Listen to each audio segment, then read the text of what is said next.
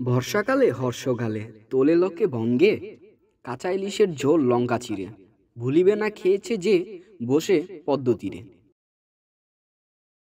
মনের আনন্দে বর্ষাকালে বাংলার মানুষের ইলিশ খাওয়ার এই চিত্র পাওয়া যায় রসরাজ অমিত লাল বসুর ছড়ায়। তার কথা পদ্মপাড়ের ইলিশ যে একবার খেয়েছে সে কখনো ভুলবে না। যদিও বাস্তবতা হলো ইলিশের স্বাদ এখন দেশের বেশিরভাগ মানুষের ভুলে যাওয়ার জোগাড় হয়েছে। তার কারণ, চলতি বছর ইলিশের যে দাম, তা নিম্ন আয়ের মানুষ তো দূরের কথা। নিম্ন বা মধ্যবিত্তেরও প্রায় নাগালের বাইরে। এ কারণে ইলিশের স্বাদ ভুলে গেলে বিস্ময়ের আর কি আছে? এবার ইলিশের যে দাম তা গত দশ বছরের মধ্যে সর্বোচ্চ এমন হিসাবই দিয়েছে কনজুমারাস অ্যাসোসিয়েশন অব বাংলাদেশ।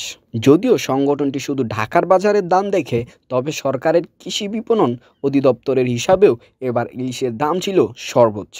মৎস্য অধিদপ্তর অবশ্য প্রতি বছর ইলিশের উৎপাদন বাড়ছে বলে তাদের পরিসংখ্যানে উল্লেখ করেন দপ্তরের কর্তা ব্যক্তিরা বলেছেন, এবারও ইলিশ কম হয়নি। সাগর থেকে ইলিশ ধরতে নৌকা, জ্বালানি তেল, মজুরি সবই বেড়েছে, তাই দাম বেড়েছে। অন্যদিকে ব্যবসায়ীরা বলছেন, নদী, সাগর সবখানে এবার ইলিশ মিলছে কম। এবার ইলিশের সময়, বিশেষ করে জুলাই ও আগস্ট মাসে অস্বাভাবিক কম বৃষ্টিতে দায়ী করছেন গবেষকরা। অবশ্য কারণ যাই হোক, এবার ইলিশের দাম যে চড়া তা নিয়ে কারও দ্বিমত নেই।